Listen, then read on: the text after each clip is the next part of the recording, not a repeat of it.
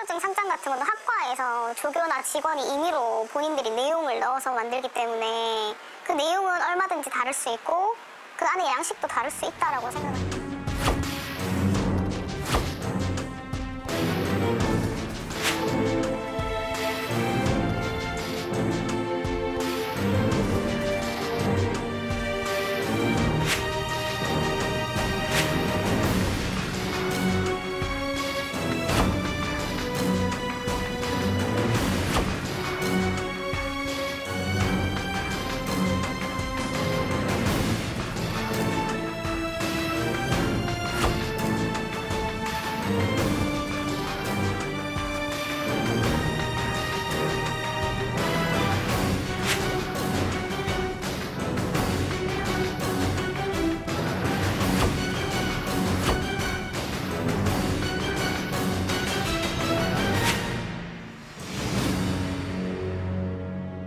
네, 어젯밤 PD수첩에서는 조국 장관 부인인 동양대 정경심 교수의 딸 표창장 위조 의혹을 집중적으로 파헤쳤습니다.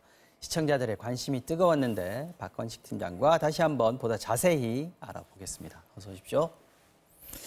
자, 어제 PD수첩 부제가 장관과 표창장이었습니다. 동양대 표창장 문제는 지금까지 기소된 유일한 사안입니다. 동양 그 정경심 교수의 기소 사유였는데요. PD 수첩이 그 많은 의혹들 지금 뭐 여- 사모펀드도 있고 뭐 어, 표창장도 있고 여러 가지가 있지 않습니까? 논문도 있고 표창장에 주목한 이유가 뭡니까?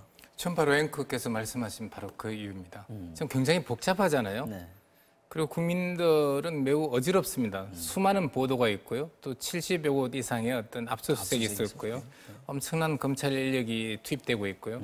그래서 뭐가 뭔지 잘 모르겠다. 근데 자세히 살펴보니 저희들이 어, 검찰이 이 수사권을 가진 기관 아니겠습니까? 그렇죠. 유일하게 기소한 게 딱 한 개더라.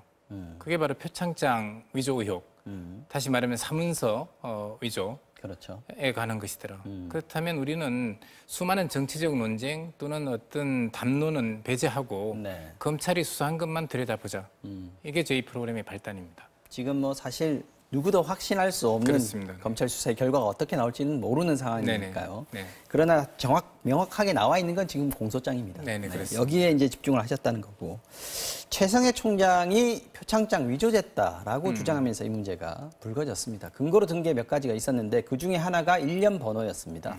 총장 표창장은 일련 번호 형식이 정해져 있는데 정 교수 딸이 받은 표창장은 그 양식 형식이 다르다는 거였습니다. 하지만 동양대 실무자들 얘기가 달랐습니다. 들어보시겠습니다. 아 정말 어이가 없어서. 왜 어이가 없어요? 아니 사실 그렇게 나간 상장이랑 수료증 너무 많은데 어, 근데 1년 번호도 그렇게 제각각인가요, 그럼? 제각각이죠. 사실 그 당시에 나왔던 상장, 수료증, 뭐 표창장 받은 친구들 거 몇 건만 사실 모아도 뭐 일련 번호는 뭐 기재하지 않아도 사실은 뭐 크게 그 당시에는 문제될 게 없었기 때문에 자체 번호로 만들어서 나간 게 많죠.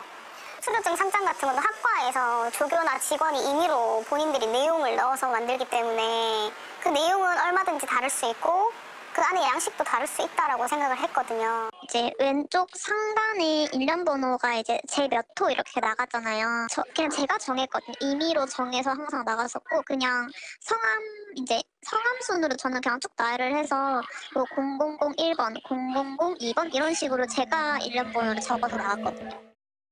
자, 최 총장 얘기는 내 이름으로 내 명의로 나가는 표창장은 딱 정해져 있다. 일련 번호 형식이 0000-000 이런 형식인데 어, 딸이 받은 어, 표창장은 그런 형식이 아니었다는 건데 아까 조금 전에 나온 음, 증언을 보면은 굉장히 여러 가지 형식이 있다라는 얘기잖아요. 그렇습니다. 네. 최 총장이 주, 장하실수 있는데 언론은 그것을 검증해야 되잖아요. 음. 그렇죠. 저희가 안타깝게 생각하는 것은 지금까지 수많은 언론들이 이 보도를 했지만 음. 현장에 내려가서 실제 검증을 한 언론은 잘 없다는 겁니다. 네. 저희들이 내려가서 만나 보니까 최 총장께서 주장하신 세 가지 근거, 음. 교육학 박사, 네. 라는 타이틀이 있어야 된다. 그리고 일련 번호가 표창장에, 어, 네. 내가 정한 것과 다르면 안 된다는데 실제로 내려가서 그 당시의 졸업생들 어, 들의 어떤 여러 가지 정서들을 받아봤습니다. 받아봤더니 뭐 수료증, 상장 다양한 게 있는데 어떤 것은 일년 번호가 연도가 있는 게 있고요. 뭐 네. 2019 다시 얼마 이런 게 있는가 하면 어떤 건 연도가 없이 있는 게 있고 전부 제각각이었습니다. 지금 화면에도 나오지만 굉장히 다양합니다. 네네. 네. 어떤 조교는 자기가 일년 번호를 자기가 만들었대요. 음, 그런 것처럼 다양한데 최 총장의 주장만이 지금 언론에 보도됐지 음. 다른 목소리는 거의 반영이 안 됐던 것이 좀 어, 뼈아픈 대목이 아닌가 생각합니다. 그 대장의 기록을 반드시 하게 돼 있다. 이게 또 최 총장의 그렇습니다. 주장이었지 않습니까? 네네. 그런데 이것도 대장에 꼭 기재하는 거 아니다 이런 식으로 직원들은 얘기를 하더군요. 예, 지금 문제는 저희들이 내려가서 확인했더니 음. 대장이 기록하는 게 아니라는 주장도 있지만 지금 대장 자체가 없어요. 대장 자체가 없습니다. 네. 그래서 보존을 하게 돼 있는데 음. 대장 자체가 없어서 어, 학교 관계자들은 굉장히 좀 곤혹스러워합니다. 지난번에 진상조사 할 때도 그런 거 없어가지고 아무것도 못 내놨던 그런 기억이 납니다. 사실은 그 진상조사 단장께서 막 도망 다니다시피 맞아요. 하셨죠. 네. 음. 자 그러면 실무자들 또 학교 직원들 얘기하고 최 총장의 주의, 주장이 완전히 지금 상반되지 않습니까? 네네. 이거 어떻게 봐야 됩니까? 누구 말을 믿어야 되는 건지 취재해 보신 소감은 어떠세요? 사실은 이 부분은 추론의 영역 아니겠습니까? 맞습니다. 근데 네. 저희들은 뭐 수많은 어떤 교직원들을 만나봤고 당시 조교들 현장에서 실제로 네. 장학 정서라든지 수료증 이런 것을 실무 작업을 하는 음, 분들 아니겠습니까? 어, 그 통념으로 봤을 때 음. 또 상식의 선에서 봤을 때 총장께서 어, 뭐 다양한 기관이 있지만 기관장들이 실제로 어떤 정서를 만들거나 음. 관여하는 경우는 사실상은 거의 없습니다. 현실을 잘 몰랐을 수도 있겠다라는 생각은 듭니다. 네네네. 신문 현장에서 어떤 식으로 일이 이루어지는지 네네, 총장의 자리라는 게 어쩌면 그럴 수도 있고요. 네네. 그런데 교육자적인 양심을 걸고 나는 이게 위조됐다라고 얘기를 했다라는 음. 거거든요. 이렇게까지 할 이유가 있을까요? 역시 추론의 영역입니다만 어, 어떤 면에서 어, 저희들이 뭐 정언을 확보한 게 있는데 녹취가 어, 거기에서 보면 어, 어떤 정당과 어, 특정 정당과 척을 지게 되면 다음 정권이 바뀌게 되면 학교가 굉장히 위기에 처하지 않겠느냐 네. 이런 어떤 어, 말을 하는 어떤 최 총장 최측근의 녹취가 있었습니다. 자, 어쨌든 겸- 검찰은 정경심 교수가 표창장을 위조한 걸로 보고 예, 예. 어, 기소를 했습니다. 네네. 공소장 보면 날인. 했다는 거지 않습니까? 그렇습니다. 날인이라는 게 이제 도장을 찍는다는 얘기잖아요. 예, 예. 그런데 나중에 또 나온 검찰발 보도들을 보면은 음.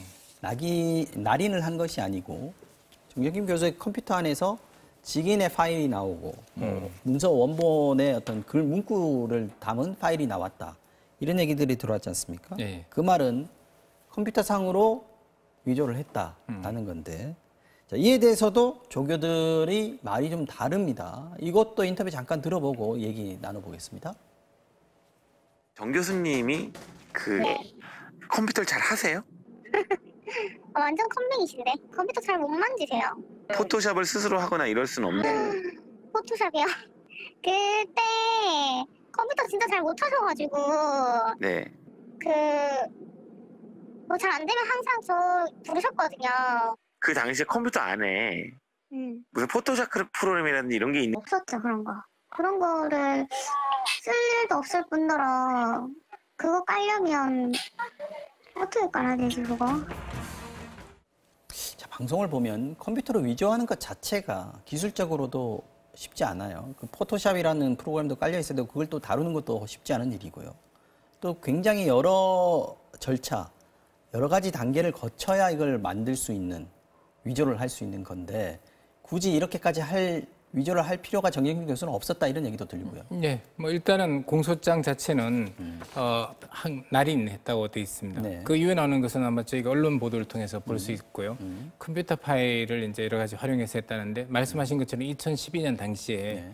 이것을 할 수 있는 어떤 포토샵이라든지 다양한 소프트웨어가 어, 그냥 깔려 있지 않았다고 조교들이 증언하고요. 그 컴퓨터에는 없었다. 예, 또 포토샵이. 정교수 자체는 한글 파일도 잘 못 쓰고 워드를 사용했답니다. 주로. MS 워드. 네. 예, 해외에서 공부하다 보니까요.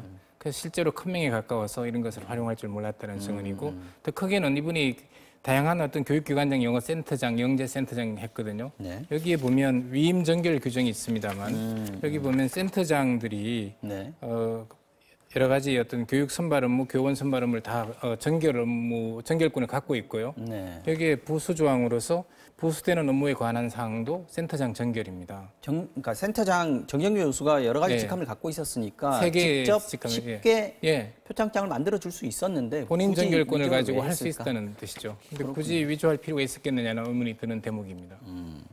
자, 어쨌든 지금 검찰은 공소장을 변경을 해야 될 사안이고. 음. 검찰에서도 변경할 거다라고 얘기를 하는데 이게 쉽지 않은 일이라고 하던데요. 예, 9월 6일 날 어, 기소를 했지 않습니까? 이것이 많은 어떤 정치적 그 개입이라는 음, 정치 개입이라는 비판을 받았고요.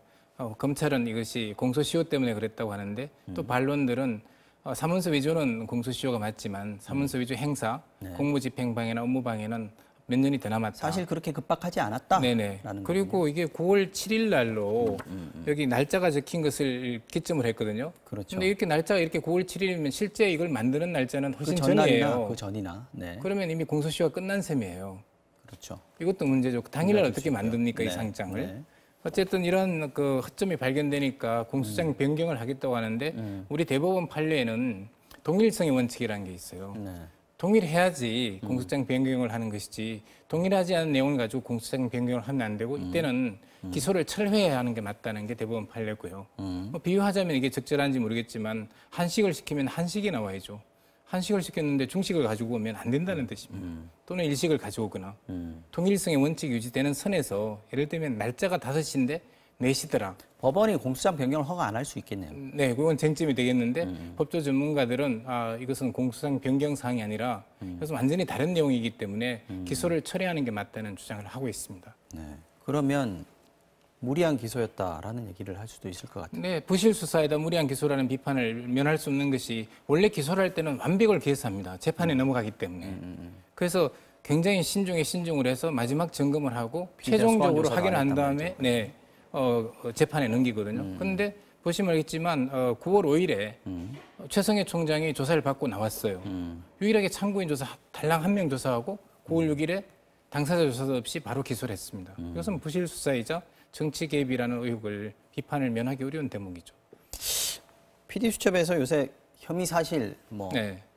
피의 사실 보통 우리가 언론에서 네네. 이렇게 얘기하지 않습니까? 근데 혐의 내용, 피의 내용 이렇게 표현을 하시더라고요. 특별한 이유가 있습니다. 어, 그렇습니다. 이제 최근에 어떤 검찰의 어떤 과잉 의존이 있다는 생각을 하고요. 검찰 수사는 하나의 의혹이거든요. 사실은 재판에 가서 밝혀지는 겁니다. 사실이라고 했을 때 마치 예. 확정된 것처럼 느껴지는 게 있다. 혐의 사실이나 피의 사실이라고 하면 마치 이것은 확정된 사실인 것처럼 비춰지는데 이것은 의혹 단계에서 재판에서 밝혀질 내용을 검찰이 마치 사실인 것처럼 국민들 오인할 가능성이 있기 때문에 혐의 내용, 피의 내용으로 저희는 썼습니다. 네, 언론에서 차츰 이런 용어들 신경 써서 좀 바꿔가는 것도 좋을 일인 것 같습니다.